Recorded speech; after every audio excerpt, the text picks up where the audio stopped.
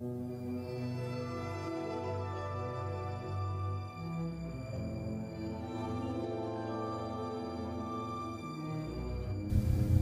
my name is John Bucy and I'm playing Joe Cardin in the Children's Hour.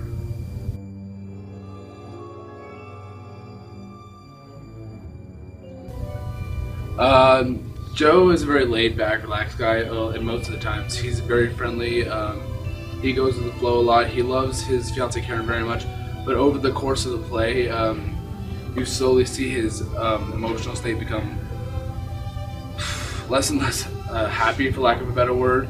Um, as the weight of the situation really bears down on him, he strains in the third act to keep Karen and Martha from just sinking into like a bottomless pit of like despair following the events that happened in Act Two.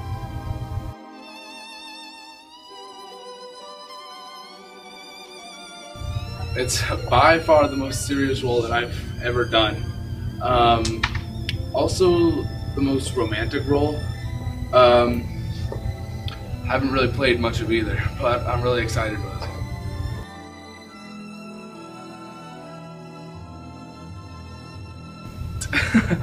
uh, gum and Mentos uh, and stuff like that, or you know, Tic Tacs, probably like my one just to keep the breath fresh.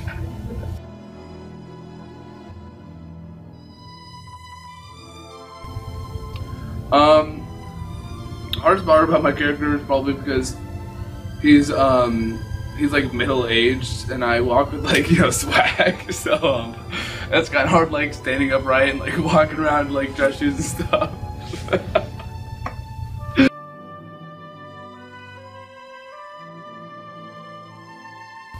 um, because it's a great show. It's very relatable about um how gospel lives is